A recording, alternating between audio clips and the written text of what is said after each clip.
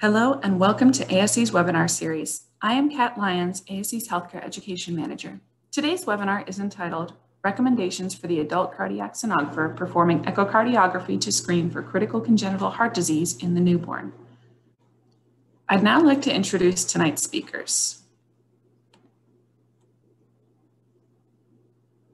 Melissa Wasserman is the Satellite Operations Sonographer Lead at the Children's Hospital of Philadelphia and focuses on pediatric echocardiography outreach at CHOP affiliated community hospitals and outpatient centers.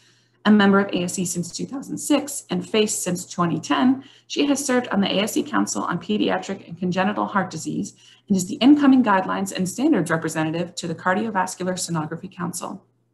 Dr. Bruce Landeck is an associate professor of pediatrics at the University of Colorado School of Medicine and practices at Children's Hospital of Colorado. He is the lead education attending physician in the echocardiography laboratory and is medical director of the Cardiac Progressive Care Unit at Children's Colorado. He has been a member of ASE since 2006 and a FASE member since 2013, serving on the guidelines and standards, finance, and membership committees, as well as on the Pediatrics Congenital Heart Disease Council Steering Committee. Without further ado, Please welcome Melissa Wasserman and Dr. Bruce Landeck. Thank you, Kat, and thank you to the ASE for inviting Dr. Landeck and me to be here today. We have no conflicts of interest. So let's get started. If you're here today and you're an adult sonographer that's being asked to scan newborns and you're not completely comfortable doing so, you're not alone. This is a hot topic for a reason. So much so that at the ASE Council retreat in 2019, this subject was brought up independently by both the Council on Cardiovascular Sonography and the Pediatric and Congenital Heart Disease Councils. Why? So in 2011, the CDC included checking pulse oximetry as part of the newborn screening. If the newborn fails, this screening, an echocardiogram is mandated. Now, there are a lot of hospitals with labor and delivery departments, but there are not a lot of hospitals that have pediatric sonographers or pediatric cardiologists on site.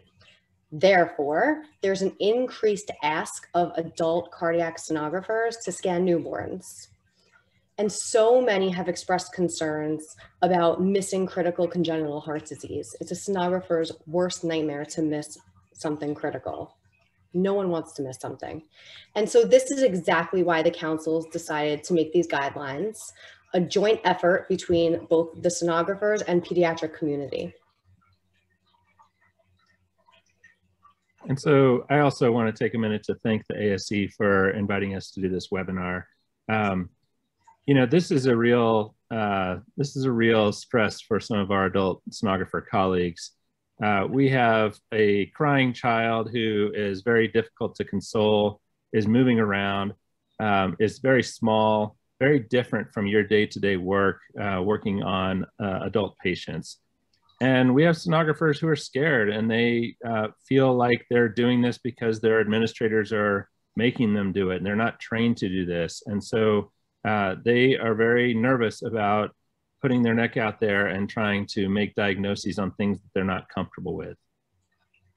And there's very real fear about this, but uh, we don't want you to worry. We want to be your resource to help you uh, serve this uh, very important patient population. So the idea was introduced in November of 2019, and we spent over a year working on this guideline we asked our adult sonographer colleagues what they're looking for as far as guidance in this subject. Do we teach about specific forms of congenital heart disease? Do we only show adult imaging views or should we include pediatric views? We thought about how we could make the most positive impact on patient care through these recommendations. And in March of 2021, our guideline recommendations for the adult cardiac sonographer performing echocardiography to screen for critical congenital heart disease in the newborn was published in JASE. And one really nice feature about this guidelines document is that it really highlights the contributions of our sonographers.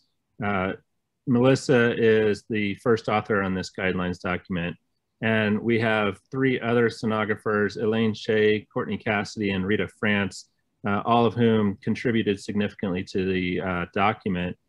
This is really nice to see that a majority of the authors of this document are sonographers, um, just exhibiting further a great collaboration between the two councils. We think it's important to clarify what this document is and what this document is not intended to do. So it is not intended to replace the role of pediatric sonographers. When available, experienced pediatric sonographers should be your first line to scan pediatric patients.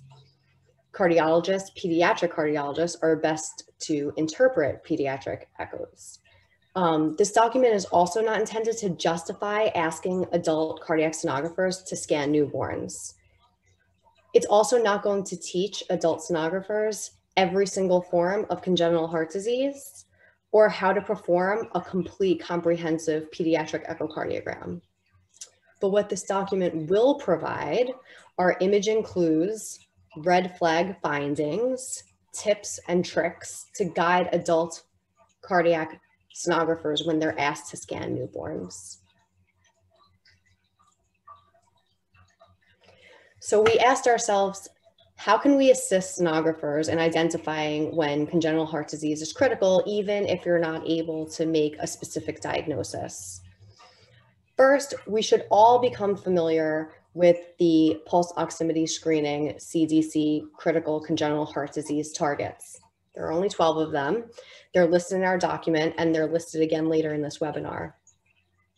Also described in our document are specific echo findings for these forms of critical congenital heart disease and which imaging windows you'll see them. We try to show as many examples in parasternal windows as possible since this is the same in both pediatric and adult echocardiograms. Um, additionally, there are not only still frames, but there are also moving AVI files available on JASE. So sonographers can actually access them bedside. So if you get called to the nursery and you're unsure of what you're looking at, you can pull these videos up on your cell phone. And you can compare it to what you're seeing in the patient that you're currently scanning. Um, with this in mind, we encourage an if then type of thinking.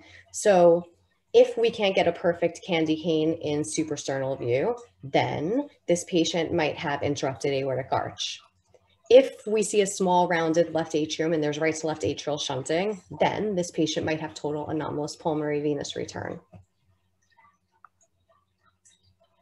Really, before we get into some of the um, lesions and describing uh, the different features of those lesions, we wanted to highlight another important part of this document, which is describing the infrastructure that's needed at hospitals uh, where the echocardiograms are going to be performed, uh, and also at the location of the interpreting pediatric cardiologist to have a good uh, seamless way to transmit these studies, perform the studies at the right uh, level of quality. So we described the need for age appropriate echocardiography equipment, including uh, neonatal ultrasound probes, a mechanism to store and transmit those images electronically. And then uh, we describe the need for a structured communication process among the referring provider, the sonographer, and the reading physician. And we don't uh, describe exactly what each institution or each uh, relationship between hospitals needs to look like, but really just uh, highlight the importance of having a process and developing that with your uh, with your uh, hospitals that you work with so that you can do things just as easily in the middle of the night as you can during the regular workday. So let's start with instrumentation and patient settings. This is so important because before you even start your scan, you want to give yourself the best chance of obtaining beautiful diagnostic images.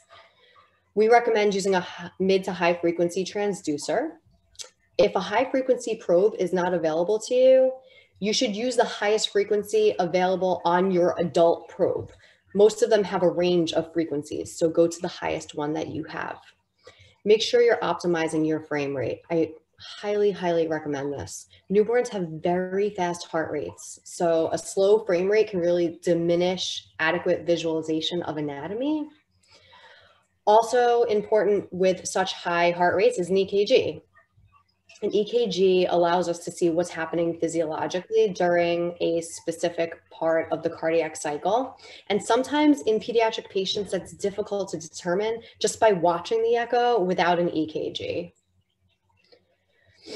Your patients should be kept warm and happy. A calm, content baby will give you high quality images. It is hard enough to scan anatomy and physiology that you are unfamiliar with without a patient screaming and crying and kicking. Learning to swaddle a baby is a highly recommended skill. Um, swaddling not only keeps your baby warm, but it also limits their freedom to hit you with their little arms and legs, which these babies are strong. If you have a gel warmer, use it. I personally recommend wrapping gel in a towel to keep it warm until you get to the nursery. So if you take it from your lab, wrap it in a towel, it'll, it'll hold the heat. If you have a sleeping baby, cold gel is a sure way to wake them. A sleeping baby is a gift. Um, also, there's no need to have your baby completely exposed from the waist up. Unless they're under a warmer, I, we recommend only exposing um, the imaging window that you're using. So you don't need the chest exposed if you're doing subcostals. So to store and transmit these images, really this needs to be um, electronic. We're in the 21st century. Uh, we used to use videotape for those of us with enough gray hairs to remember, but uh, we do this electronically now. And uh, there needs to be a sufficient bandwidth between sites so that studies can be transmitted quickly and reliably, uh, regardless of the time of day. So both sites will need to involve their IT groups to do some testing and make sure that there's a uh, nice way to transmit these images. Some institutions like to do real-time interpretation of neonatal echocardiograms. Others uh, store and then forward to the other institution. But if you are going to do a real-time interpretation, obviously we need the images to stream with a sufficient speed to play in real time and be at an adequate frame rate. There's, um, there's the potential for error if the images come across choppy or fragmented. And then certainly you want to have uh, available previous echocardiographic data, images, uh, reportants, uh, and have that retrievable for comparison. So if you're the interpreting site, you want to be able to hold on to those previous studies so that when you're doing a uh, recheck on a baby with a PDA, for example, who's on a ventilator, you can compare the size of the PDA and the size of the heart to the previous study you've performed. And please keep in mind that uh, the primary responsibility for storage and archiving these studies does rest with a performing facility.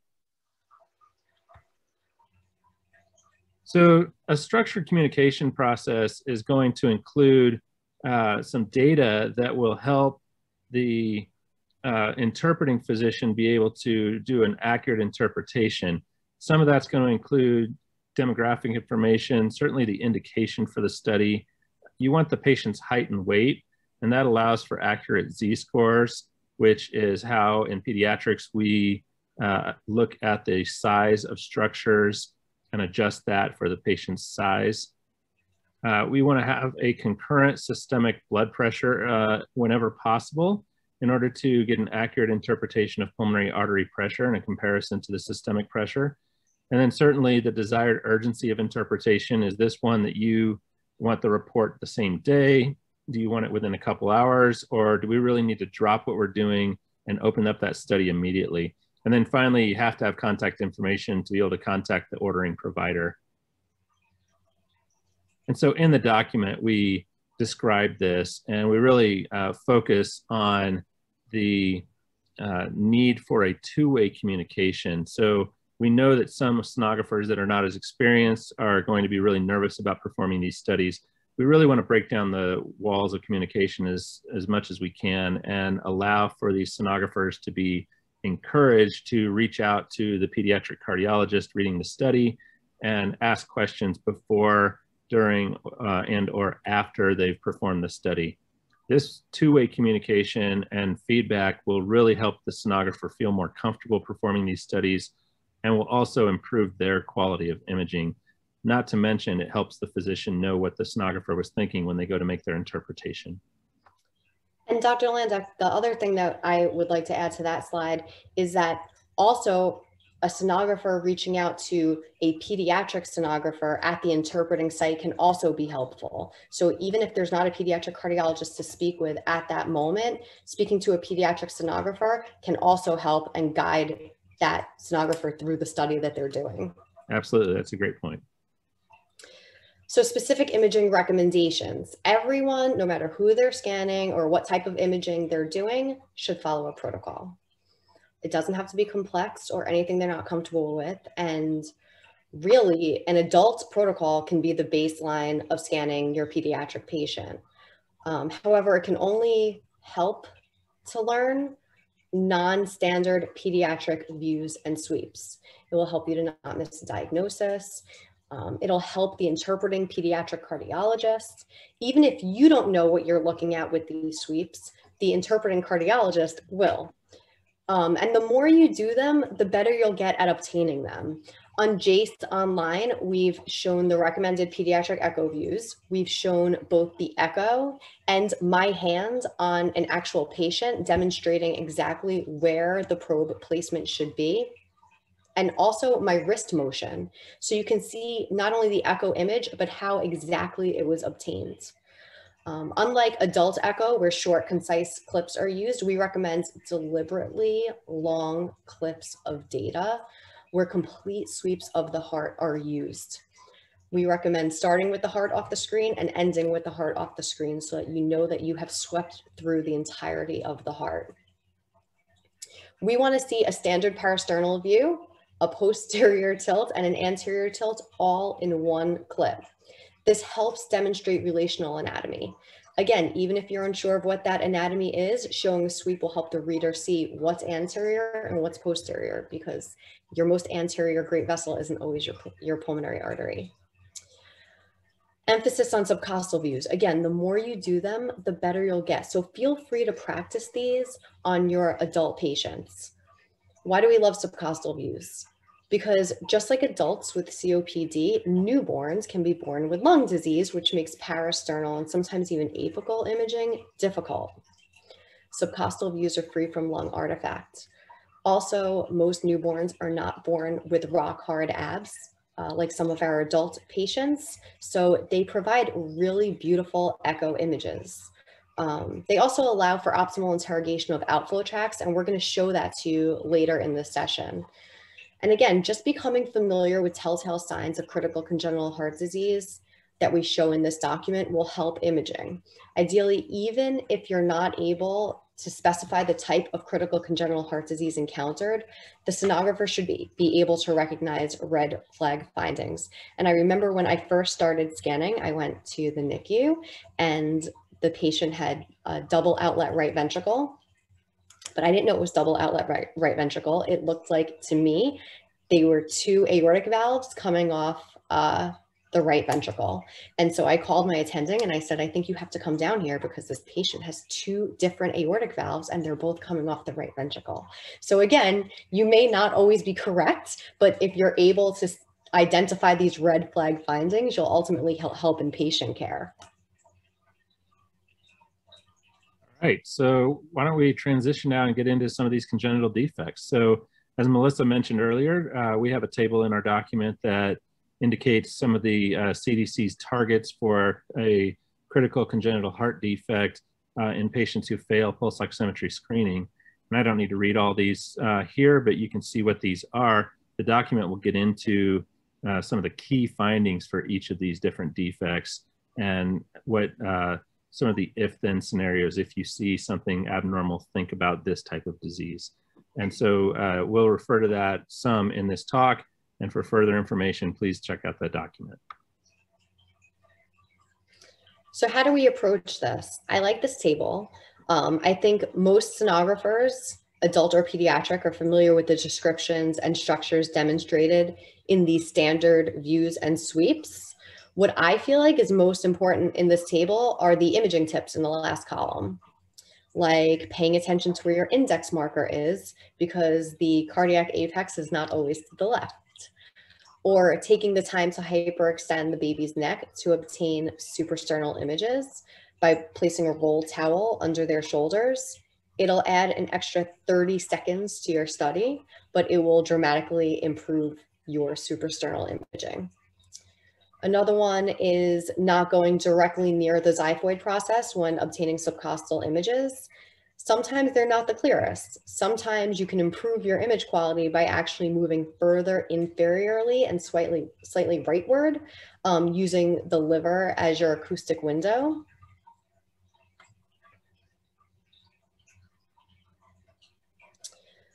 So we want to give examples of red flag findings in critical congenital heart disease in standard adult echo views. And I think most cardiac sonographers are going to walk away from this webinar feeling like they knew more than they even realized. So for example, here's a parasternal long axis view. To the left, we see side-by-side -side great vessels.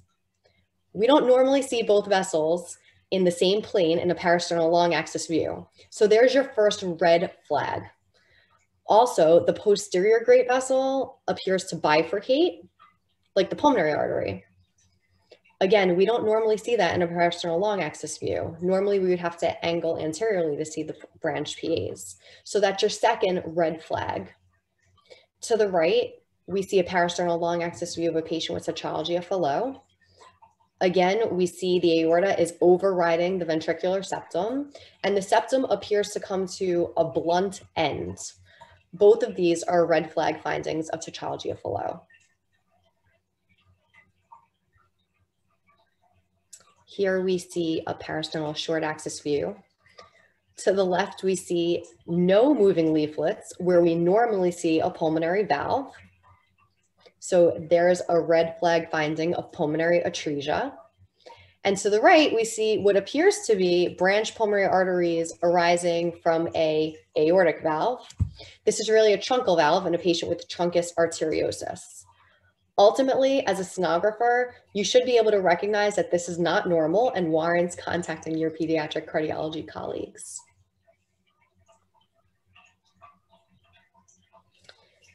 Here we see an apical four chamber view of a patient with hypo, hypoplastic left heart syndrome.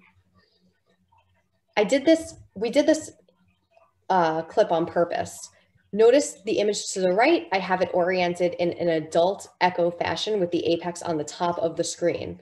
A lot of adult sonographers tell me they lose their bearings when they're trying to obtain apical images in pediatric patients. So our advice is to essentially cheat. Get your image the way you're used to in an adult orientation and then flip it before you acquire the image for your pediatric cardiologist to read. So here we can see a big size discrepancy between the two ventricles. That's your red flag finding that this patient may have hypoplastic left heart syndrome or pulmonary atresia, which is normally associated with a hypoplastic right ventricle. Ultimately, in this image, what should stand out to you is that there's a size discrepancy between the two ventricles, even if you can't figure out which ventricle is bigger and which one is hypoplastic.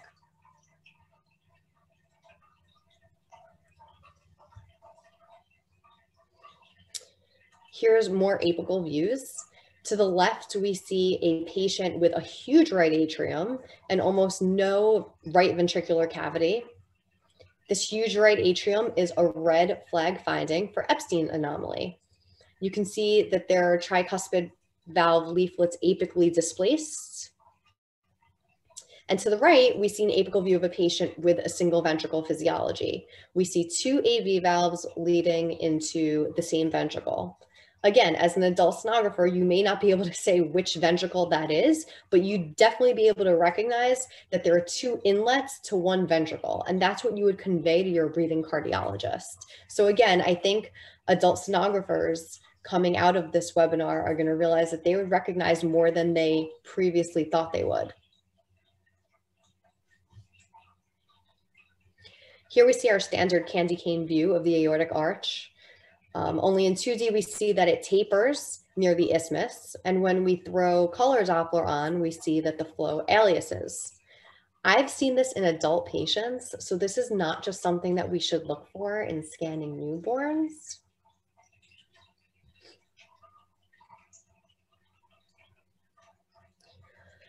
As I said earlier, we are huge fans of the subcostal window. And this is the same view that we use in adult imaging to look at the atrial septum and to look for pericardial effusion. It's a subcostal frontal sweep. We, uh, what we also see here as we continue to angle anteriorly is that both great vessels are arising from the right ventricle. So this patient has double outlet right ventricle, DORV. If you were scanning this baby and saw no great vessel arising from the left ventricle, but two coming from the right, that's a red flag finding that this patient has double outlet right ventricle. And just uh, going back to that to bring this talk full circle, uh, notice the perfect angle of uh, interrogation to Doppler these outflow tracks as we angle anteriorly. We are completely parallel to flow with both outflow tracks.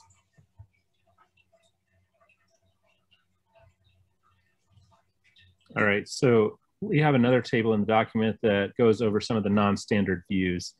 And these are ones that you may not be completely comfortable doing, but we'll demonstrate with the uh, videos that are associated with the document how to perform these views. And this is where we think this uh, guidelines document really shines. We've got tremendous online uh, material that is associated with the document. So if you are on the JASE website looking at this document, you can click these links for the videos and be able to actually see these sweeps being performed or these views being performed uh, with narration on some of them that will show you how to identify structures. And so a few of them that we like to look at in pediatrics that we don't always do in the adult cardiology world are the subcostal short axis view, the ductal view, where we isolate the ductus arteriosus from the branch pulmonary arteries and from the aorta, and then the abdominal aortic view, which allows us to see pulsation of flow in the abdominal aorta, uh, which is abnormal if you have an upstream obstruction, such as coarctation of the aorta. One important finding, and we'll talk about this later, is that uh, when you're looking at the abdominal aorta in pediatrics and in neonatal scanning, we like to uh, sample by uh, spectral Doppler the abdominal aorta itself and not the superior mesenteric artery or celiac artery because those can be confounding when you're interpreting this and they can mimic what a coarctation might look like. So these next two clips are some of my favorite in the document because I remember when I was learning PEDS and someone told me to sweep from left to right, I moved my entire hand with the probe from the patient's left to the patient's right. When we say sweep, we mean with our wrist. So here we see a subcostal short axis view. You can see where I place the probe on the patient with the index marker at six o'clock. And just from this one sweep, there's so much we can see. We can see both the IVC and the SVC entering the right atrium normally. We can see the aorta in its entirety. Even we can even see the arch descending aorta just from this view. Um, from valve to arch to descending aorta, we can also see that the ventricular septum is nice and round, which goes against this patient having pulmonary hypertension. So from this one view, we can get so much out of it. Um, and with color, this would also be a great view to look for ventricular septal defects.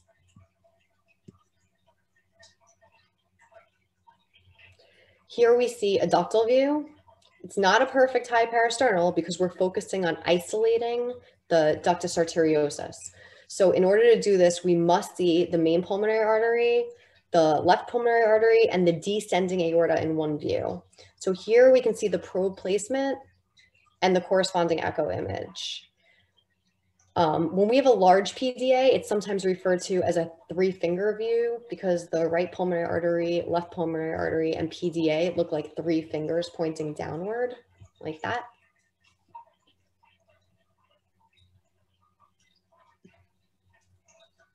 And here's the abdominal aortic view. And to get this, we want to really try and get as parallel to the direction of flow as possible. And what that means is that sometimes you need to go very low in the abdomen and then aim back up toward the head. And doing that, you'll be able to get a better alignment of the flow in the abdominal aorta.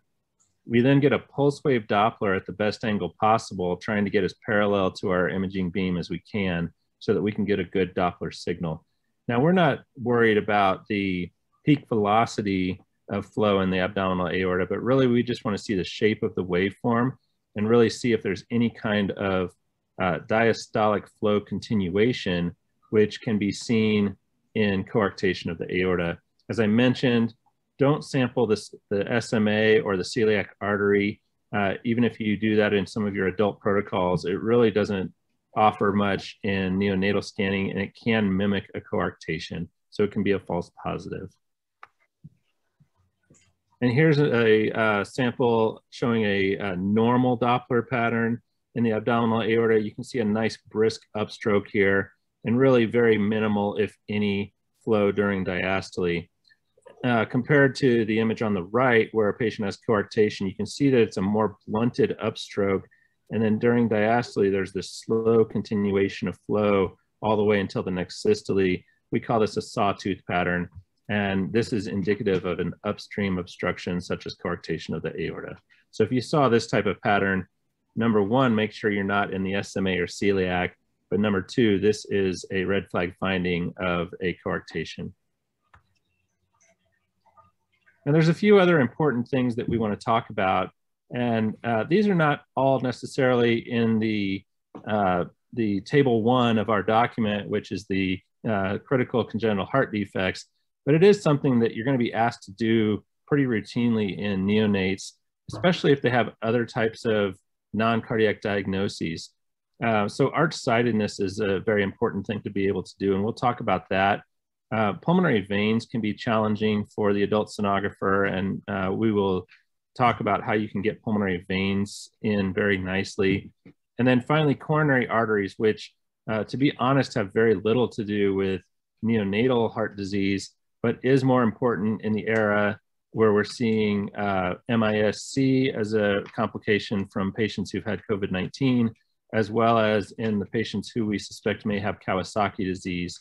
If you can get better at imaging coronary arteries, that's going to help these patients potentially get treatment faster uh, and also rule out some of these conditions uh, where we may be able to avoid having to transfer the patient to a pediatric center. So arch-sidedness, um, this is defined by the relationship of the aortic arch to the trachea. And so most of us have a left aortic arch. That's the, the normal finding. And that's where the aortic arch courses to the left of the trachea and over the left main stem bronchus. Some people have a right aortic arch, which courses to the right of the trachea and over the right main stem bronchus. What's important is in a neonate who has uh, tracheoesophageal fistula, in order to get the repair done for their TE fistula, they're going to need to have a lateral thoracotomy performed by the surgeon. And so it's very important to make your incision on the opposite side of the aortic arch on the chest. If a patient has a right aortic arch, you don't want to make your lateral thoracotomy on the right side because the aortic arch is going to be in the way, preventing you from being able to see the TE fistula. That would be a big no-no. The surgeon would have to close up that incision, go to the other side and do a left thoracotomy in that case. So getting arch-sidedness is something that's really crucial. And there's really two methods that we use to demonstrate arch-sidedness. The standard method that we prefer in our lab and in most labs is going to be a suprasternal short axis image. And what we'll do is you'll have your indicator at three o'clock, you're up in the suprasternal notch, and you want to identify the aorta, which is a circle in this view, and have 2D and color Doppler and slowly sweep toward the head. The first branching vessel will almost always go to the opposite direction of the arch. And so if the first branching vessel goes to the patient's right, then it's going to be a left aortic arch.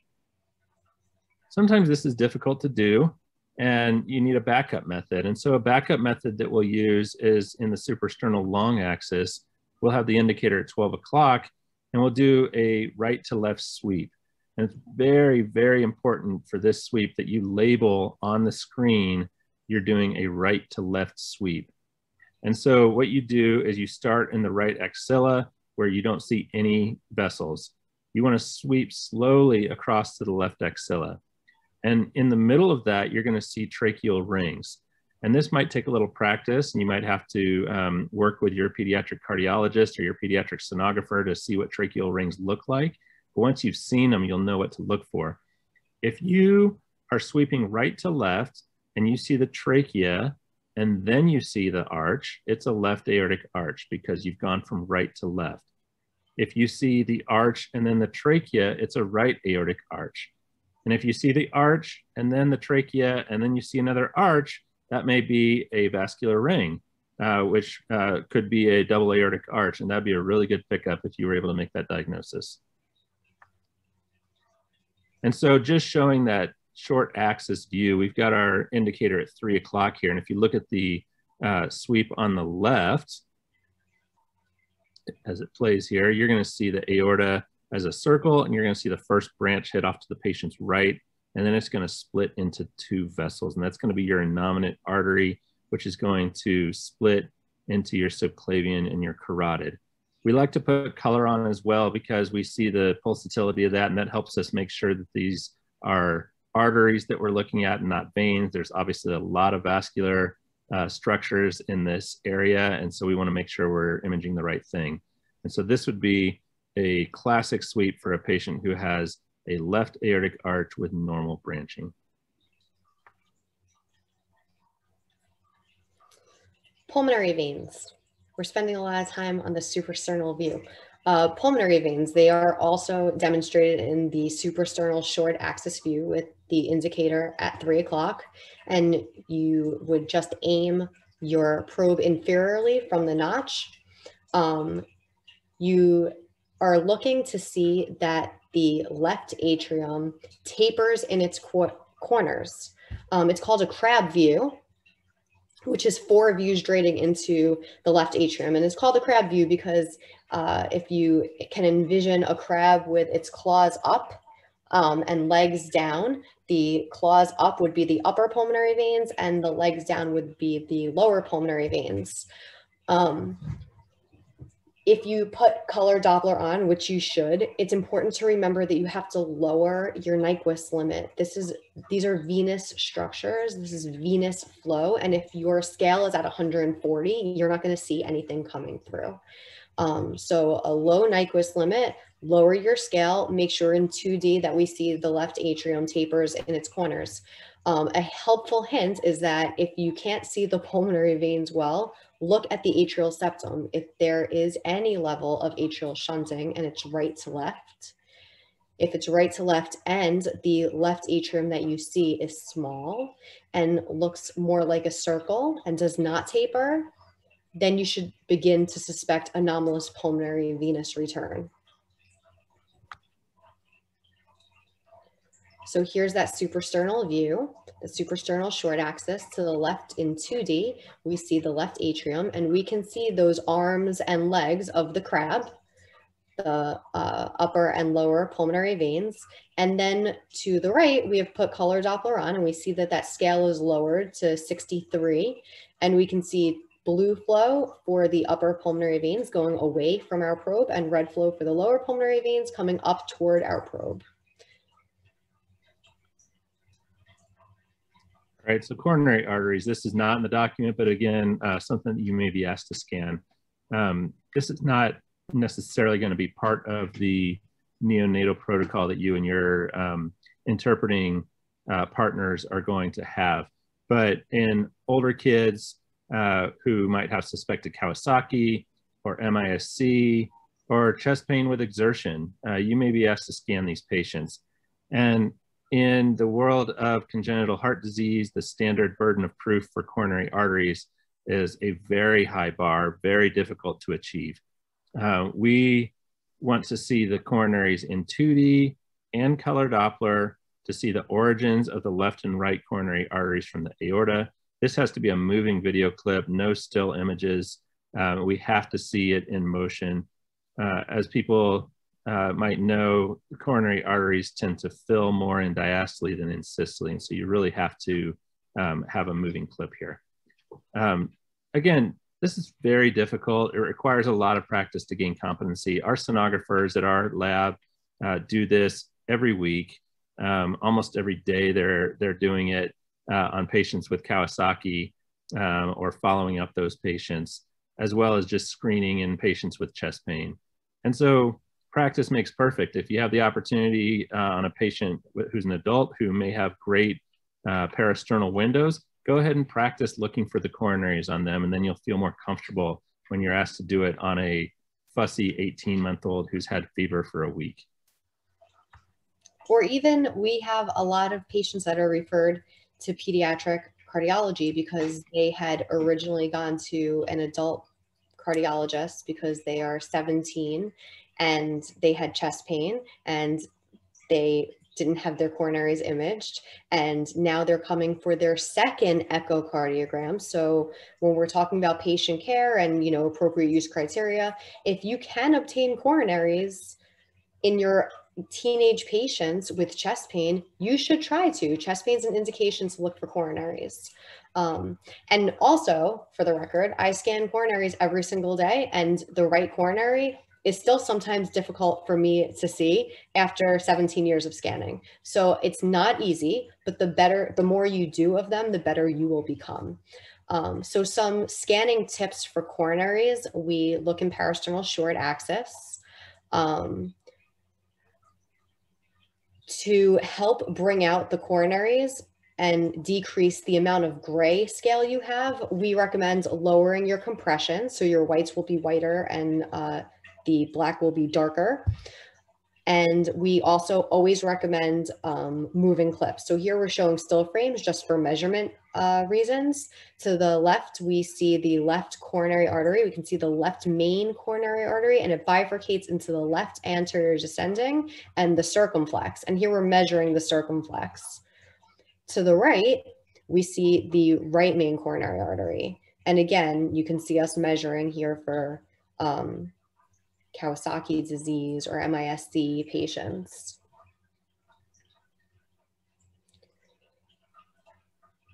And here's that moving clip that we so recommend. Uh, to the left in 2D, you can see the right coronary artery coming off around 11 o'clock, and we can see the left coronary artery coming off between 3 and 4 o'clock. And when we put color flow on, just to make sure it's real, we like to show it in 2D and color we can see the red flow going away from the aorta and feeding the myocardium in diastole. Um, another thing just to pay attention to is the color scale. We lower our color scale to fill our coronaries. Um, again, it's not going to fill if you have a, a, scale, a color scale of, you know, 110. So, um, however, if you lower your scale too much, all you're going to get is you know, crazy amounts of color. So I recommend, we recommend lowering the color scale until we can get the coronaries to fill and then stopping.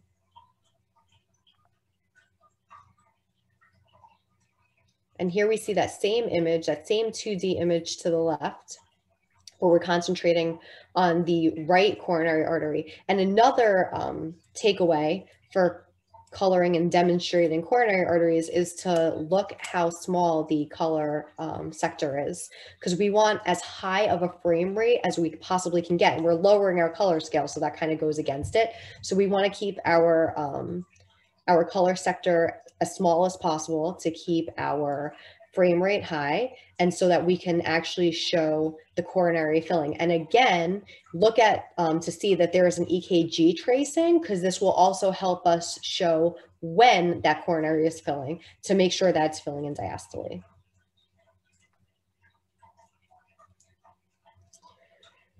Our big takeaway is that if you can't make it look normal, it probably isn't normal. So coronaries can be formed anywhere. Um, and if you can't get the right coronary at 10 or 11 o'clock, maybe you should look at one o'clock and see if there's anything coming off there. Maybe it's not coming off the aorta at all. Maybe it's coming off the pulmonary artery. So if you can't make it look normal, it might not be. That certainly holds true for all congenital uh, heart disease. Um, you'll run into patients in, in the adult congenital heart disease world with CCTGA, and in those patients, you cannot make them have a normal parasternal long axis view. It's their anatomy just won't allow for it. So summarizing our talk, uh, you know, we have a new guidelines document which really aims to assist the adult sonographers screening for congenital heart disease in the newborn, particularly critical disease. We have 35 video clips included on the ASE web version of the document. So please take an opportunity to look online and look at some of those video clips. Uh, we really strongly encourage a two-way structured communication to allow for the proper care of these patients and also to give feedback to the sonographers um, and let them describe what they see, what they can't see, what they're thinking. This is all going to help this patient out um, if you can have a two-way communication. There's very non-standard views for the adult sonographer that we have in this document. We want you to get familiar with that. Get familiar with doing sweeps, nice, slow, deliberate sweeps, 10 to 20 seconds long. And if you're struggling, don't hesitate to pick up the phone and call your friendly, friendly pediatric colleague. And that can be the, the pediatric sonographer, the pediatric cardiologist. We want to be available to you. We want to uh, help you feel more comfortable scanning these patients because ultimately it's going to help us make better interpretations and it's going to uh, provide the best care for these patients. And again, like Melissa said, if you can't make it look normal, it probably isn't normal. And so with that, we're going to take a few questions that we've had from the audience.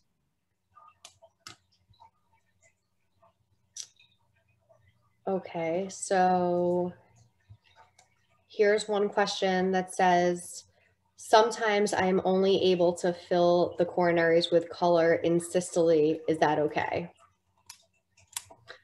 Why don't you no. take that one, Melissa? no, that is not okay. Um, we want them filled in diastole. What I do find though is if they are filling in systole, it means that your scale is too low. So you can increase your scale and also you can mess with your color gain um, because they should never be filling in systole. You want them in order to prove that the, that's where the coronaries are, they need to fill in diastole. Yeah, and we've all been tricked by this reading studies. Um, you can have uh, you can have some fluid outside the heart and the pericardial reflection in that area that looks like a coronary and it fills with color and you think that might be your coronary origin. Uh, and so really seeing it in diastole is going to be the key there. Um, another question, uh, and this is this is a good question. Uh, it, you know, brings up sort of the point of this whole document is um, should we be doing these echoes in the first place if we're adult sonographers? Um, and, and, I think the answer to that is um, yes, you should. You should get comfortable doing this. If there's something that you struggle with or that you have a fear of, I think taking tackling it head on is going to be uh, the best way to get past that fear. You know, what we're trying to do here is not have you go outside of your scope of practice to become a pediatric sonographer, but rather we're trying to help the patients uh, get the right care at the right time.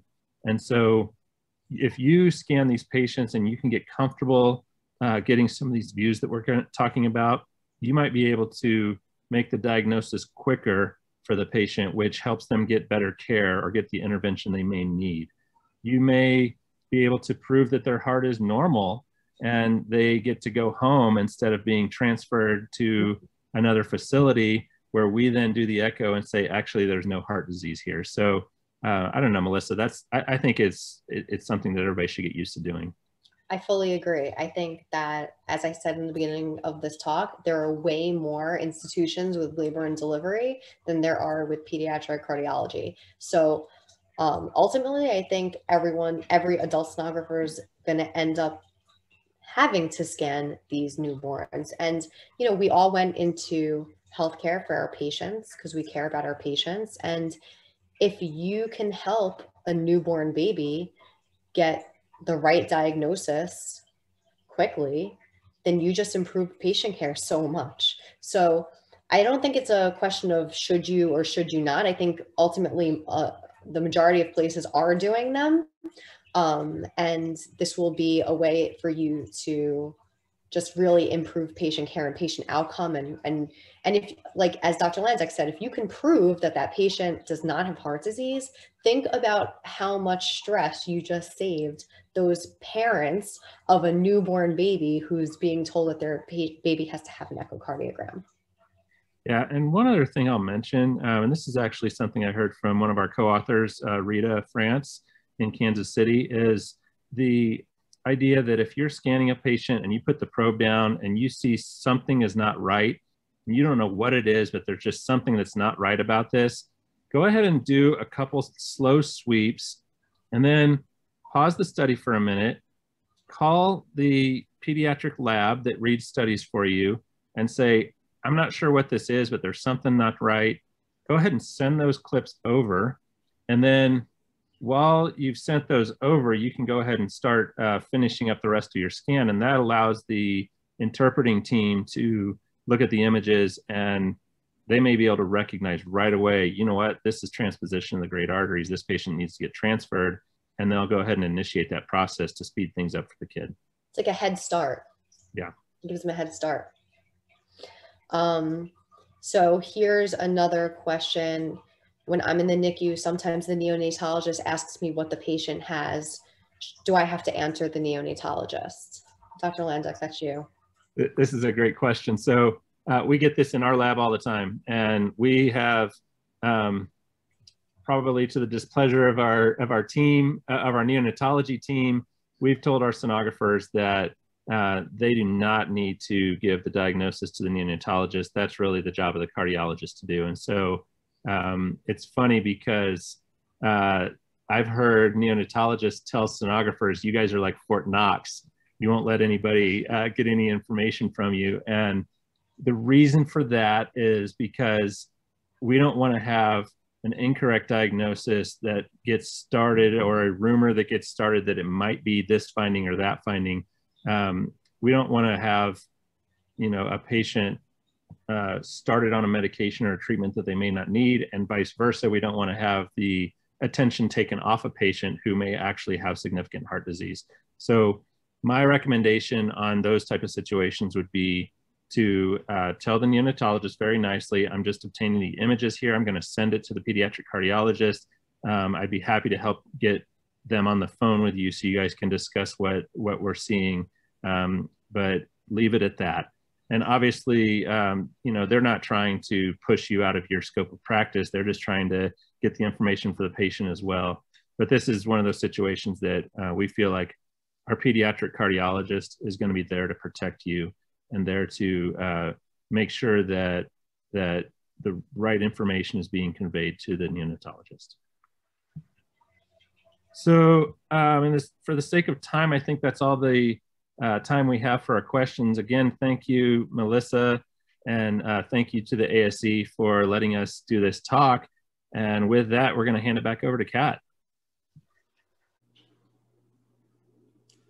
Unfortunately, we are out of time for today. We would like to thank everyone for participating in today's webinar, and a very special thanks to both Melissa and Dr. Landeck for their time and expertise this evening. You can register for all live and on-demand webinars in the ASE Learning Hub. I hope everyone has a wonderful evening.